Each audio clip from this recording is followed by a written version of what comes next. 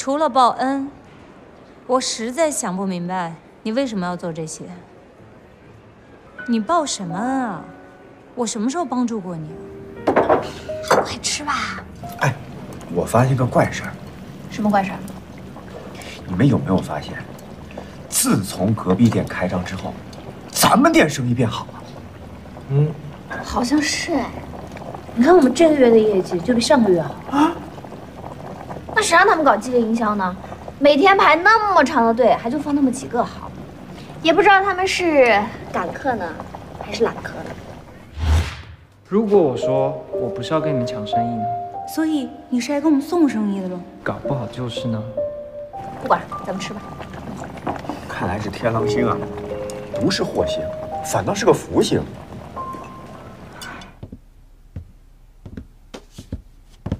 邵总回来了，真是辛苦了。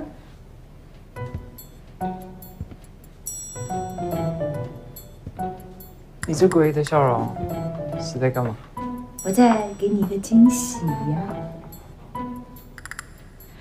根据统计呢，我们上个月卓越门店的收入要比天狼星多出百分之五，虽然只是仅仅的百分之五。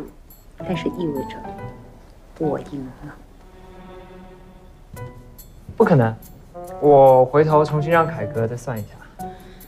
随便算，我已经统计了三遍了，错一个标点符号算我输。愿赌服输，你想要干嘛？千万不要吃辣的火锅，其他东西。这是地址，明天下午两点见，不见不散哦。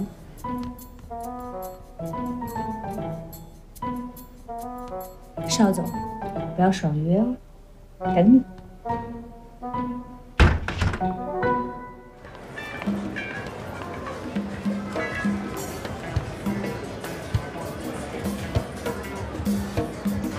认真的。我什么时候晃点过你？能不能人性化一点，来个别的选择？认输可不是邵总的风格啊。拿我弱的跟你比，也不是你的风格。认输了。怎么可能？来一局，来啊！比一下，比啊！你为什么拿我那么多金币？放轻松，稳住。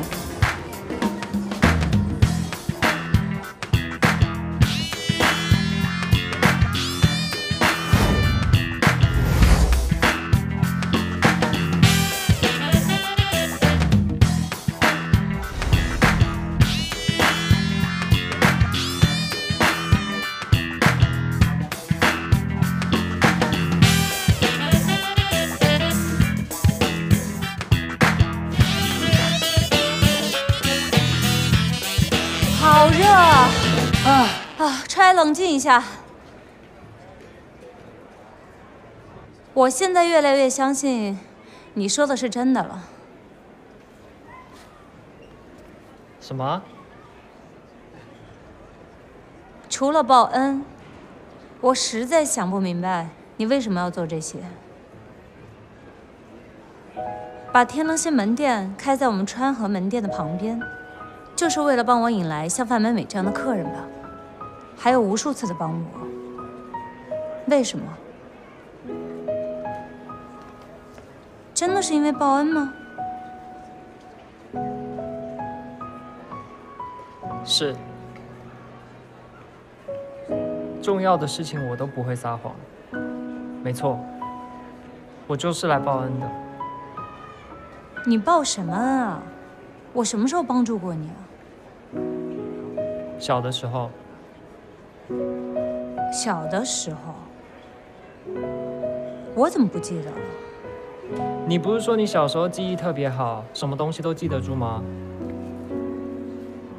我有说过这句话吗？你看你连这句话你都不记得了，那小时候没有发生的事情，我告诉了你，你会相信吗？好了，把你手机拿出来。刚刚的影片，我告诉你，我要把它删了。休想，邵总！我告诉你，愿赌拿过来，我要把这个视频发到我们群里。